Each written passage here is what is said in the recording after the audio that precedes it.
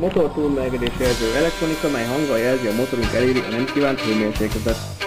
Ezzel a potenciométerrel lehet beállítani a hőértéket, és ez a pirosod jelzi, a motorunk túlmelegszik.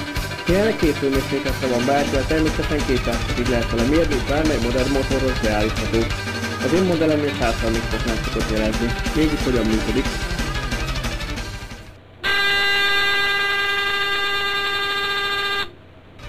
A rendszer előforrás egy 6 voltos telet, mely bármely modellben megszállható vezetőakku formájában, így extra akupakra nincsen szükségünk.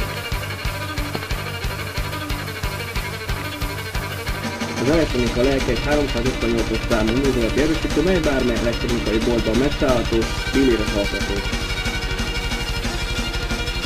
Ez pedig a termisztor, amely nélkülözhetetlen az elektronikához. Ugyanis ez jelzi a motor túl melegszik.